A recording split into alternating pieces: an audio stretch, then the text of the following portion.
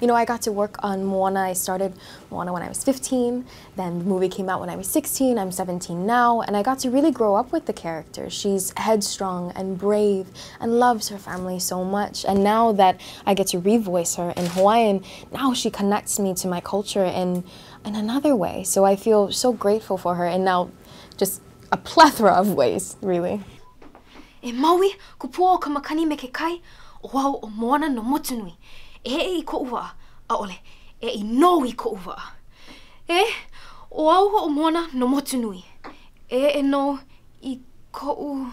Hawaiian is a beautiful language, and I must say that How Far I'll Go has never sounded so beautiful than it does in the Hawaiian language. Mm. It's also a little bit of a challenge for me. I will be the first to admit that I am not fluent in Olelo Hawaii. I've taken it for years, and you know, I I've really tried my best for this. And I get to say that I've worked with an amazing team as well, Aaron Salā and Kumu Puakea Nogelmeier. So I get to work with incredible people who will help me through the little flubs that I make in language. In English, thank you and you're welcome are a pair of idioms. I say thank you, you say you're welcome, whether you stepped out of my way or whether you saved my life. It's one size fits all. It doesn't work that way in Hawaii. Thank you. Mahalo works for everything there's like nine levels of you're welcome. From it's non-existent to it's minor to it's you know no problem to I'm happy to do it and uh, you know it just keeps going on. Well, none of those fits that setting or those many settings. So how did so you? we turned it on its head, uh, and we said instead of saying you're welcome, he says I did it for you. Eh, eh, kupua, woki o. Eh, pa'i ia ho'opa'i.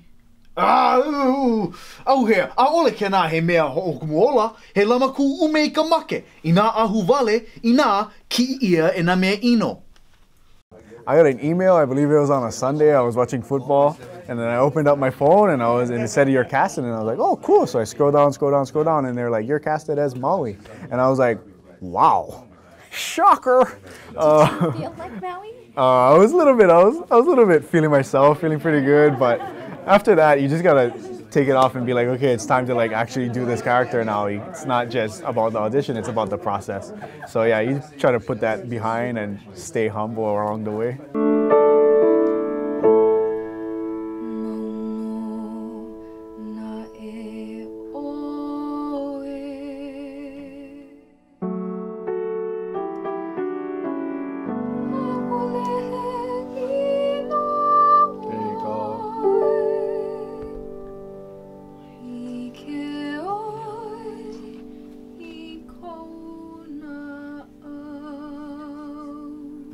Moana in English really connected with a worldwide audience and I think she kind of just reminded all of us to think outside the box, to journey no matter how far it is, to figure out who we are and what it is that that voice is, is telling us and calling for us to do. So to hear that in Hawaiian, I think it will really influence an entire generation of young Hawaiians like me who are hopefully going to learn more about their culture, who will be inspired to learn their language, to become fluent in that, because it is a dying language.